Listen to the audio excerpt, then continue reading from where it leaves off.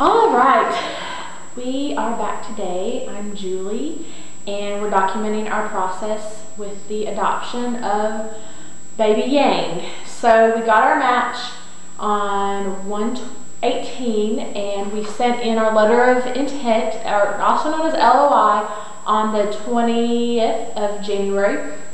And then last Thursday, the 27th, we received the official email from our agency with the attachment from the CCAA, China Center of Adoption Affairs, that we had been pre-approved to adopt Yang. And we will show you her picture and a little bit more information about her, but um, in an upcoming episode. So today I am sending her dossier to the agency along with our uh, big chunk of change.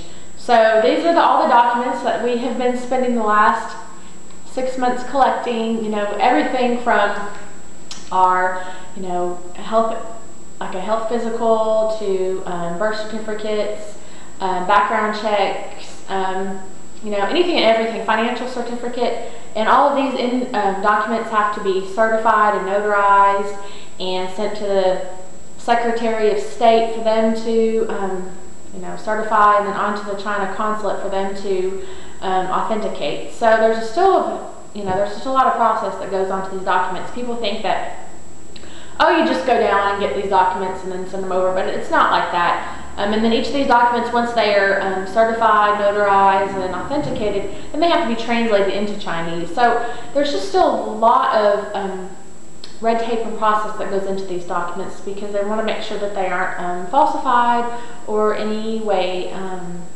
you know, could be reproduced in any illegal way. So it's very important that these documents meet all of the criteria for the U.S. government and for the Chinese government. So that's it. We're excited.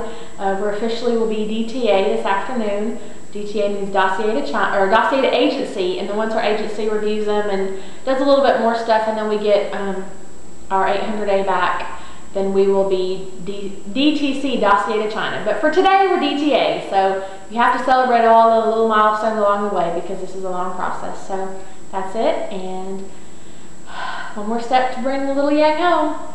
That's all today.